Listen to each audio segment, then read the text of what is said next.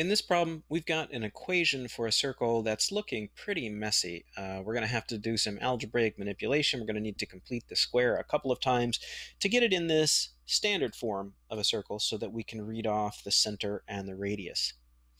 So what we want to do first of all, I think, is divide everything by 2 because everything is divisible by 2 here.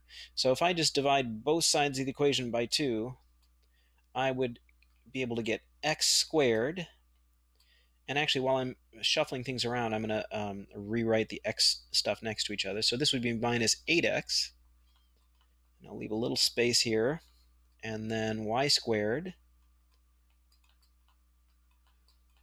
And plus 6y. And plus 9. All right, so far so good. Next step, I'm going to take this 9, put it on the other side, so this is going to be negative 9. And over here, I'm going to start working on completing the square. So to complete the square, we take the middle coefficient, the x term here, and divide it by 2. Negative 8 divided by 2 is negative 4. And then we square that to get 16. That negative 4 is going to be the term in our expression here, x minus 4 quantity squared. So this expression is equivalent to this expression. So I've completed the square for the x, but I added 16 here, so I've got to do that over here as well. Now let's do it for the y. So I've got uh, a 6. I'll divide that by 2. That's 3. Square that, that's 9. So plus 9, I better add 9 over here. And then this reduces to y plus 3 quantity squared.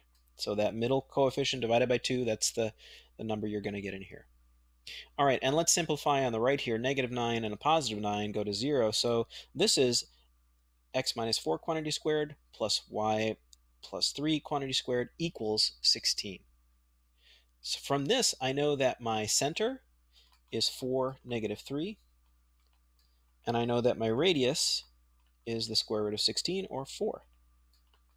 And then we can just sketch a little graph of this.